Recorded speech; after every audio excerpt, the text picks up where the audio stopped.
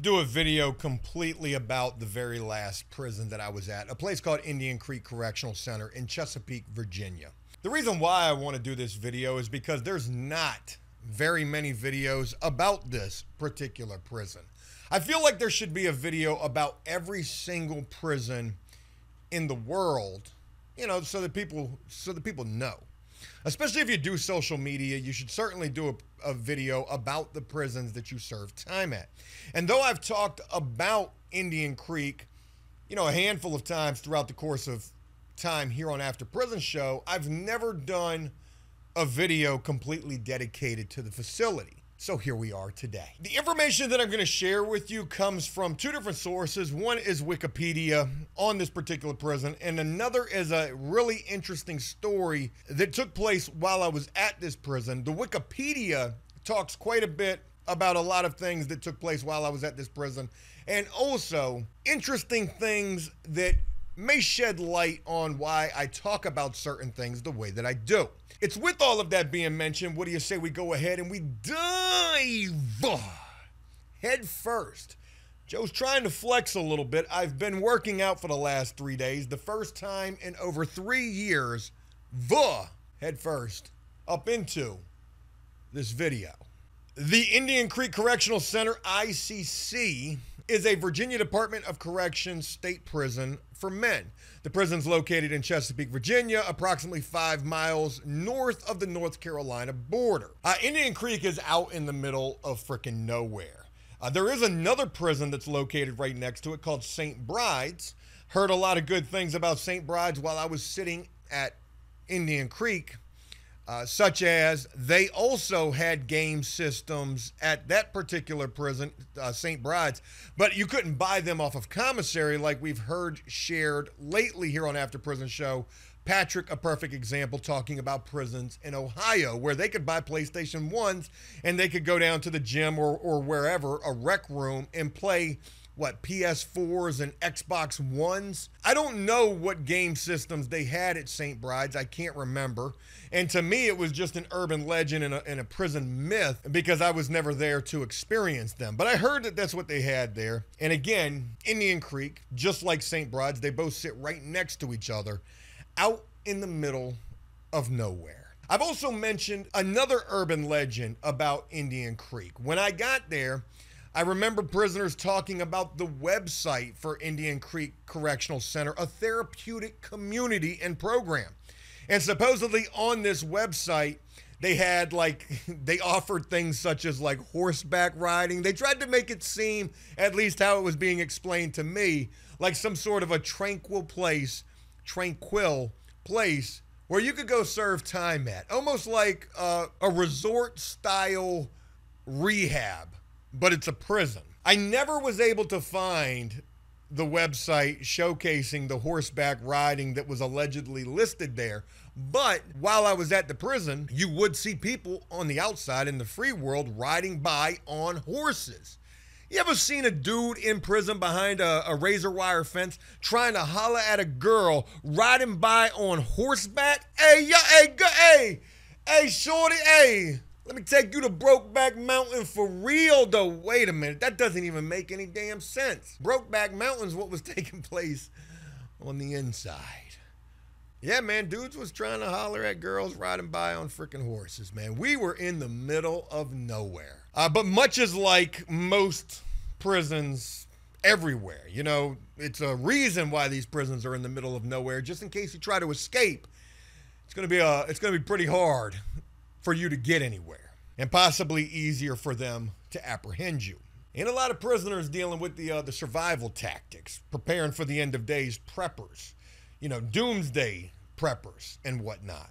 The facility opened in 1994 and specializes in long term treatment of incarcerated substance abusers. It wasn't just for that, though. You did have people who were going there who were sentenced to Indian Creek Therapeutic Community because of addiction problems. You know, they considered going to Indian Creek an alternative sentencing when you go to court. Because to complete the program, if you were sentenced to Indian Creek, the behavioral, ah, I can't remember exactly how they worded the, the program for Indian Creek, behavioral treatment program, possibly.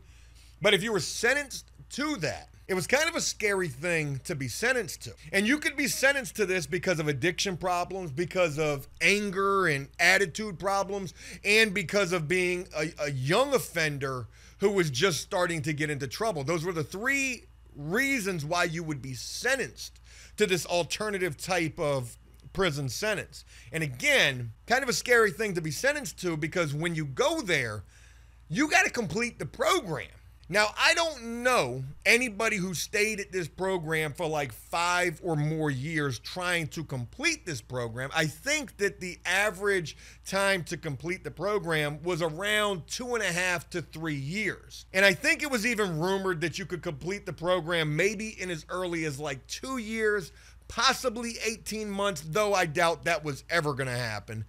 But it was around two and a half years to complete the program. The crazy thing about it is, is dudes who would get sentenced to this, I got to imagine in the courtroom, they're all about this. They could be facing 5, 10, 15. I even heard of dudes facing like 40 something years getting sentenced to this alternative sentence for the umpteenth time. In the courtroom, this shit sounds great, but when you get there, and you were young and you were out of control and involved in the gangs like a lot of these dudes you know, claimed to be, it was not an easy program for them to complete. And oftentimes they would end up tricking up the program, jacking up their level, getting booted from the program. And if you got booted from the program, you know, your the the the option to go through this was voided out, and you were in turn left with whatever you were initially sentenced to. We're gonna sentence you to 40 years, but we're gonna suspend that so long as you complete the behavioral modification therapeutic program, however they called this thing. I share that with you because I know of guys who got sentenced to this and ended up tricking this up and going to a higher level, a three or a four, and ended up getting, you know, an ass load of time allegedly. That's what I heard. I don't I don't know necessarily how it all played out for them. But it's certainly a scary thing to think about. You know, me ending up at this prison I ended up at this prison, I, I like to believe, for two reasons. One, I was getting closer toward the end of my sentence, sentenced to seven years, seven and a half years, I believe. And I had about two and a half years left. So I was getting close to the time to go to reentry, anyways. And I was at Haynesville, another level two, uh, Indian Creek Correctional Center. That's a level two medium custody prison in the state of Virginia. I was at another level two, getting in all sorts of trouble for the tattooing I would end up tricking up my time, getting caught time and time again. I ended up leaving from the hole at Haynesville, getting shipped to Indian Creek. And I'll never forget that for as long as I live. On the day that they came and told me I was getting transferred to Indian Creek, I wanted to cry because I ain't heard nothing good about this place. All I heard were these myths. You couldn't even have coffee here, allegedly. No sodas that you could purchase off of commissary. They don't even got cable. I'm out of prison with 80 something channels. I wanted to cry. And it's ironic that I wanted to cry because as the guard was coming by the cells back in the hole, telling the prisoners that they were leaving tomorrow getting transferred, they told me I was getting transferred going to Indian Creek. I wanted to cry about that. They told the next guy beside me that he was getting transferred to Sussex, which is a level 4 5. And he legitimately started crying about that. Man, what you mean? I'm going to Sussex. Sussex. Man, that's a real penitentiary. Considering where we were at the time, Haynesville, a walk in the park type of a prison, just a, a lowly little level two.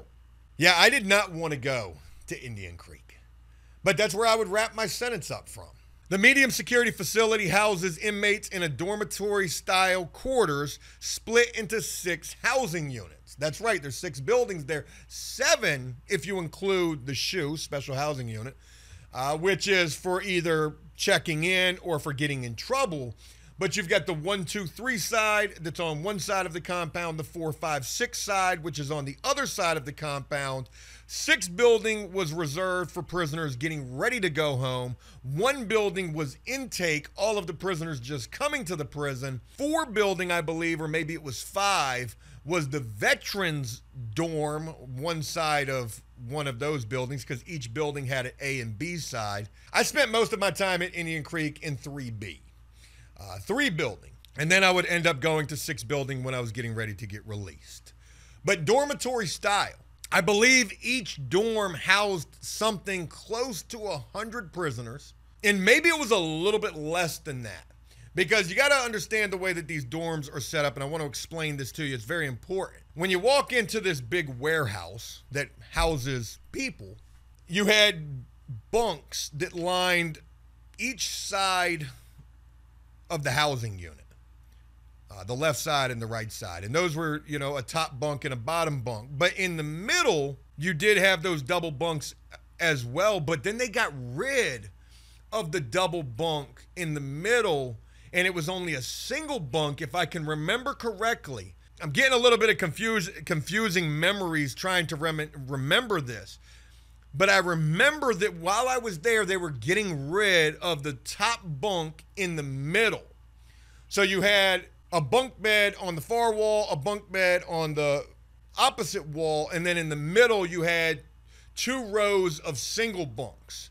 They eventually went to that, and I believe one of the reasons, allegedly, another prison myth and urban legend here, was that a prisoner was assaulted in the back corner of one of these housing units at one of these level two prisons in the state of Virginia. I don't know if it was at Indian Creek, but you've got Indian Creek, St. Bride's, Haynesville, Coffeewood, Dillwyn, Deerfield, I think. I know you've got at least those five, and there's probably one or two other ones, maybe there is, or maybe there's only the five, that look exactly the same. Indian Creek looks exactly like Dillwyn and Coffeewood, and maybe it was Deerfield. I, I can't remember, but a majority of the level twos in the state of Virginia all look the same. So I can't remember if it was at Indian Creek where this assault took place, but allegedly there was an assault that took place, the worst kind, I mean, in the back corner of one of these housing units, and that was why they were getting rid of the top bunk in the middle of the housing units across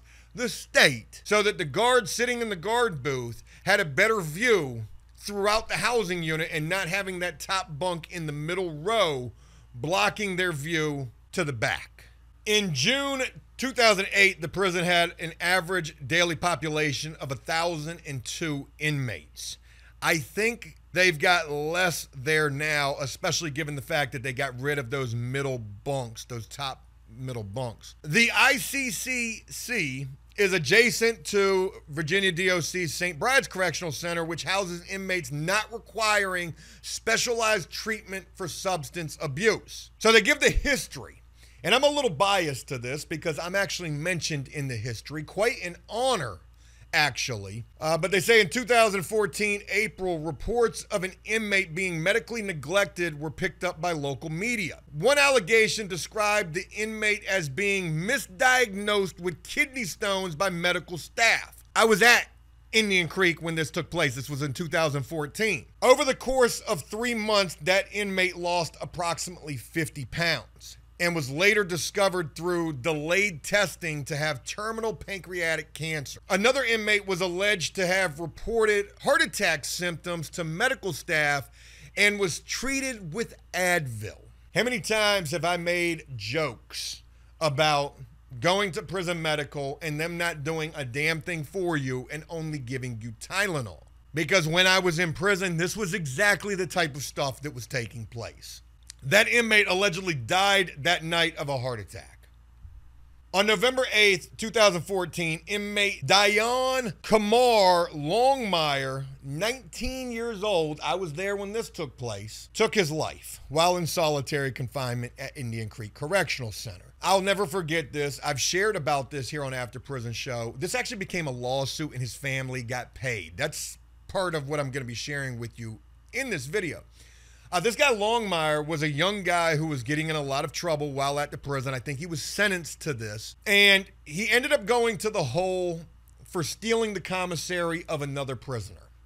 Um, they ran the cameras back. They saw that it was him that stole the commissary. Everybody was out on the rec yard when this took place. And I remember them coming out onto the rec yard and putting cuffs on this kid Longmire and escorting him out of the rec area into the hole.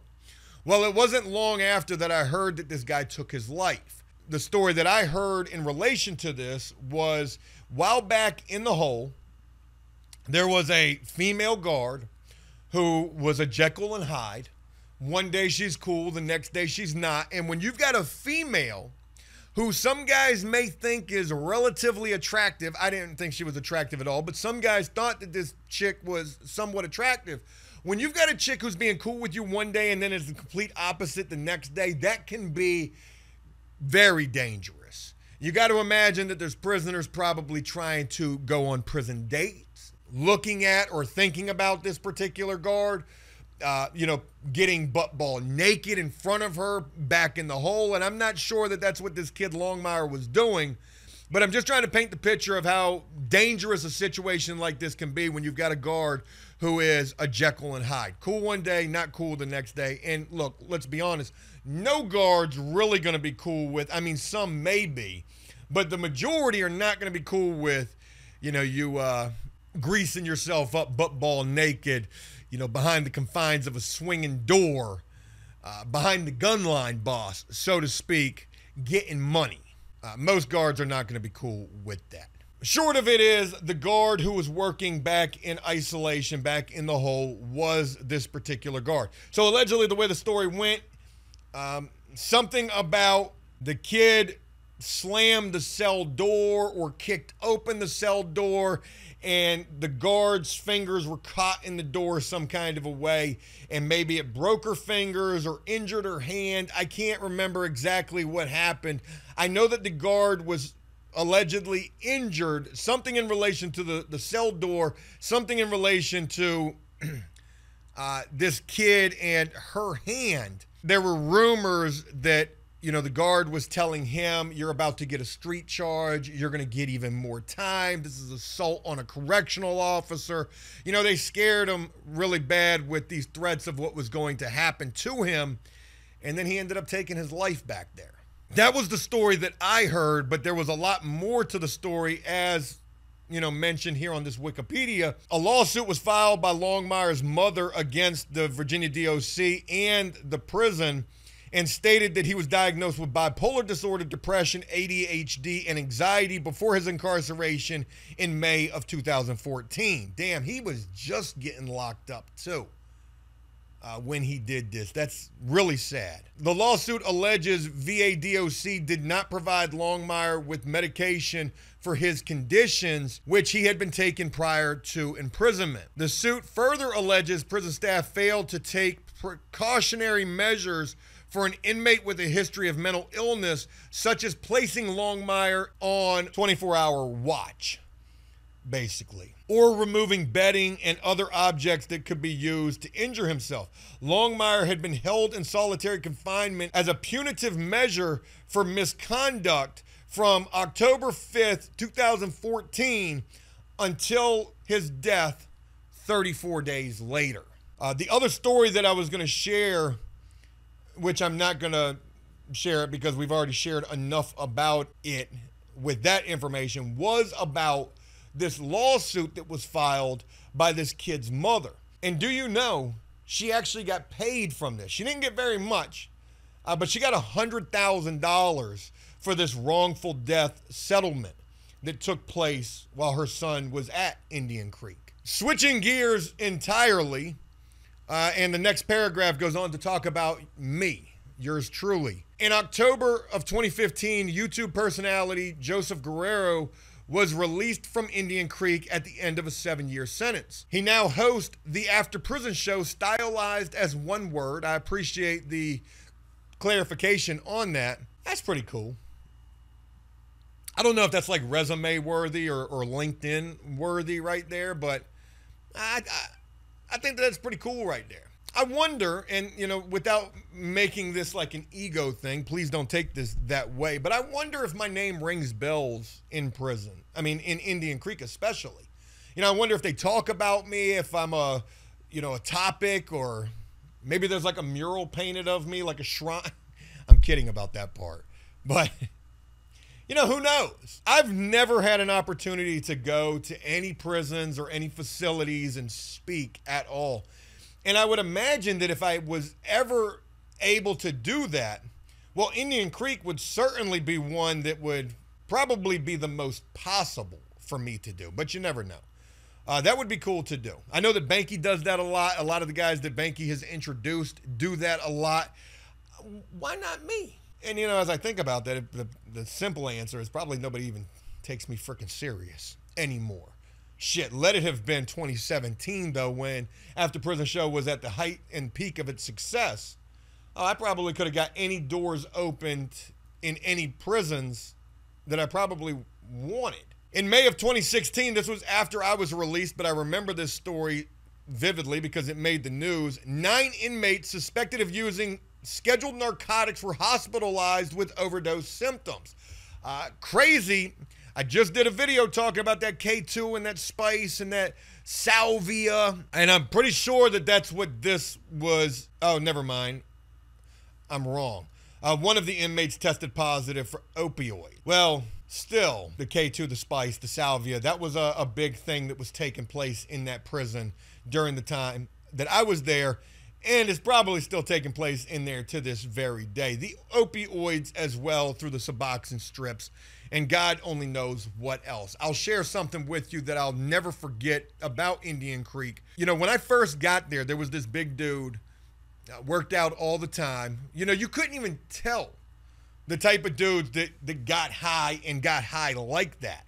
But this dude worked out all the time, big dude. And I'll never forget, you know, we were sitting in a group one day and this dude literally just passed out in the middle of the group with a freaking needle in his arm. Like literally was shooting dope at a therapeutic rehab style prison to some degree. Uh, I had just got there and I'm like, yo, this is crazy. All those rumors that I had heard about no coffee and no soda, you could get coffee and soda there. I want to say that maybe at one point in time, like when they first opened back in 1994, possibly you couldn't, but maybe they had laxed up on it a little bit since then. You know, I had heard a lot of rumors about back during the time when this place was way more stringent, you know, especially considering not being able to get sodas and coffee, that the guards were uh, engaging in the nefarious activities for money orders. I heard that that was something that was really Pound Town was taking place big time at Indian Creek allegedly back when this place first opened up. And, and you know, it's funny that I, I, mentioned that because while I was there, it was definitely still taking place. Maybe not so much with the guards, but with the staff, with them young little counselors that was coming in there. Shit, I saw so many young ladies walked off of that compound because of engaging in relationships, one form, fashion, or another, with prisoners. You know, Indian Creek, man, that was a crazy place to do time at. To think that it's a drug place and a, a behavioral place and a, a therapeutic community. The drugs were heavy there, and as they probably should be. If you've got a bunch of guys there who are dealing with addiction problems, it's no stretch to think they're going to be the ones trying to get the drugs in the most. But there was a lot of wild stuff that took place and probably still does take place at Indian Creek. Yeah. Just wanted to do a video and specifically talk about that last prison that I wrapped up the last two and a half years of my seven year incarceration at. You know, they tried. Uh, I, I don't want this video to paint a black eye on this institution because it is what it is. It's a prison, for God's sakes. Uh, you know, they definitely tried and still try to do the most that they can to rehabilitate and re-entry guys getting ready to get released. They try with the programming, they try with the counselors, they try as much as they possibly can. But unfortunately, it's a place that most guys, when they get there, they don't want to be there. And it's like after prison show as a whole, thinking about all the many times that we've tried to help people and that's never worked. Think of the, the prison, Indian Creek, is just the bigger version of that.